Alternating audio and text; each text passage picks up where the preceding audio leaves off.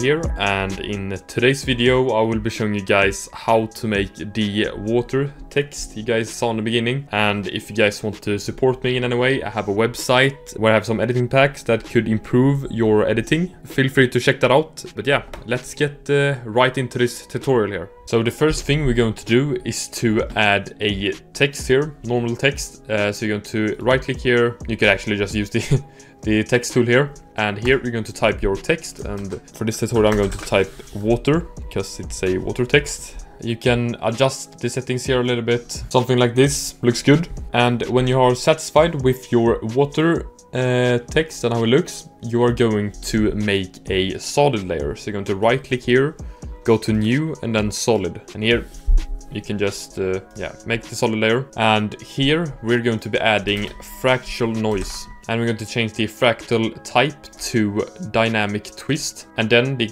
contrast to 200 the brightness to minus 10 and then we're going to open up transform here. Uncheck uniform scaling.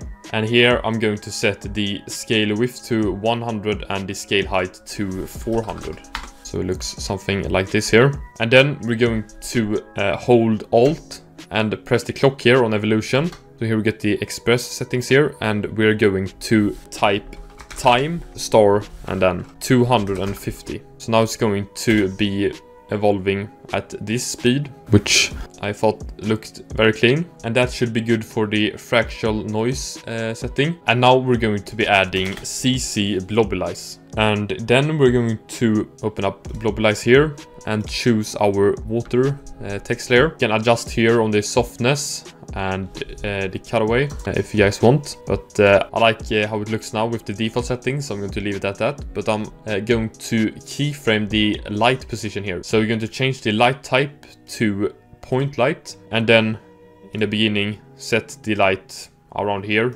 Then keyframe it in the beginning, go to the ending, which is, 5 seconds and then set it to the other side. I think it looks pretty good and after that we're going to be adding CC glass and here Open the surface up and then change the bump map to water again. Open up light and shading and it looks kind of weird now but we're going to change the settings. So the softness is going to be 8.5 and the height is going to be 100 and the displacement are going to be 0. So this just adds a tiny glass effect here. And then we're going to be adding CC Mercury. Here is where the water effect comes in. So you're going to start off by setting the velocity to 0.5 and then the birth rate to 56.3. After that the longevity to 4 and then the gravity to 0 and the blob birth size should be 0 as well. So now you get something like this here.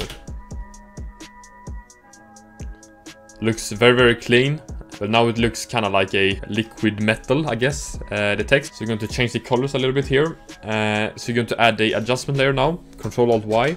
And here you're going to be adding four color gradients. And you're going to choose a lighter blue here. So go with something something like this here. And then copy the this uh, blue color here to all of the other color positions. So something like that. And then you're going to change the blending mode here to color. And uh, this, this is like too much blue here. So you're going to change the opacity to 25. And after that, we're going to be adding Sapphire Rays. And here we're going to change the ray length to 1 and the uh, rays brightness to 1.5 and then change the rays color here to go to blue here and then just go a little bit to something something like this. Just a tiny tiny bright blue. After that we're going to be adding deep glow to this. And here you're going to drag up the radius to 1110 and then drag down the exposure to 0.53 0.5 around there. Very very clean. And then you can add smooth blending to this as well. So now it looks something like this here and uh, you guys can you know adjust the opacity on the color here if you want to have it a little bit more blue. In my opinion a little bit too much so I added that 25 before but maybe like 30 percent. Looks good.